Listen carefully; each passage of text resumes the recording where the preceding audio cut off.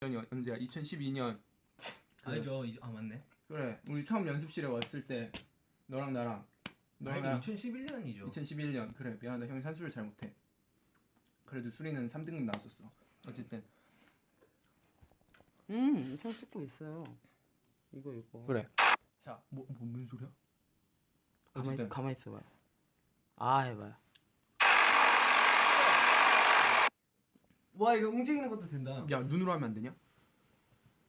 눈이 빨리 계속 얘기해봐요. 어 그래 야 2011년 1년 바이오로. 어 정국이랑 내가 그 뭐냐 하- 딱 만난 지 한 일주일 됐나? 내가 먼저 오고 정국이가 하루인가 이틀인가 늦게 왔었지 맞지? 연습실에 아니 같이 왔죠 우리 아니야 내가 너보다 하루인가 이틀 먼저 왔지 계약은 내가 더 먼저 했어요. 아, 계약은 너가 먼저 했는데 내가, 내가 그 연습실에 앉아있 내가 남준이 본 거는 하루 이틀 그 그 그 그 그, 그 거 아니야.